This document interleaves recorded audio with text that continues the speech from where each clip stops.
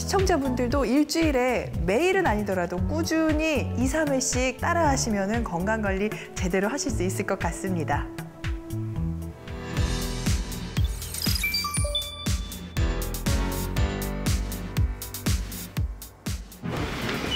지난 5월에 시작한 당뇨를 이기는 운동법 프로젝트.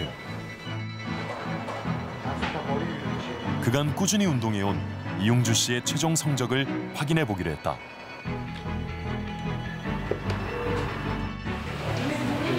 안녕하세요.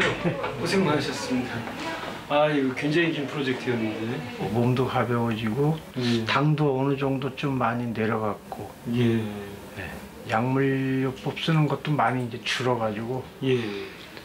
그 주사기가 남을 정도예요. 오히려 지금 같은 마음을 초심을 잃지 말고 잘 관리하시면 더 건강해지시고 합병증이 없는 당뇨병 관리가 될 수 있을 것 같습니다. 열심히 하겠습니다. 네, 좀 믿겠습니다. 감사합니다. 네네.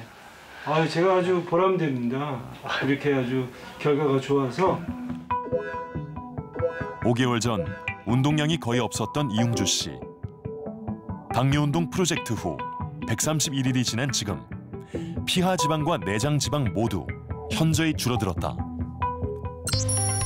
또한 운동으로 인슐린 저항성이 개선되며 혈당은 감소하고 인슐린 분비량도 줄었다. 췌장의 부담을 던 셈이다. 지난 5개월간의 운동이 결실을 맺었다.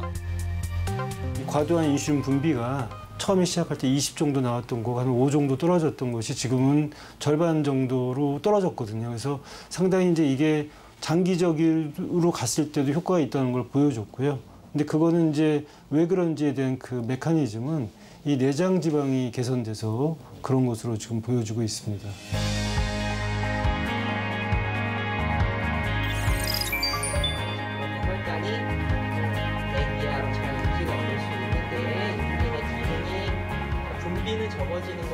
뛰잖아요. 그 위에 있는 사람들 그게 12kg예요. 시속 12kg. 그리고 7km면 걸을 수 있는 정도죠. 내가 빨리 이거 잡고 그게 시속 7km의 걸음이에요. 안변에 있는 지식을 좀더 알고 당뇨 운동 프로젝트 시작 당일 생수병을 이용한 운동법 몇 가지를 배웠다. 기본적으로 아까 말씀드린 것처럼 특별한 장소도 특별한 기구도 필요 없다. 오직 의지만 있으면 언제 어디서나 가능한 운동법이다. 자연스러운 동작을 하시되 그 자극되는 부위들만 신경을 쓰셔서 그러니까 내가 어떤 동작을 지금 해야 되는가 이거 할 때 어깨 쪽 이쪽 등이 같이 올라가 이렇게가 아니라 올리는 게 목적이 아니라 난, 근육에 난 열심히 핀 거예요. 네. 열심히 피고 하는 거예요. 그러니까 항상 신경을 써 주시고 하시면 돼요. 얘를 좌우로 흔들 거예요. 이때 이게 흔들리지 않으려고 배심을 되게 꽉 주셔야 돼서 있는 힘껏 흔들어 주시면 돼요.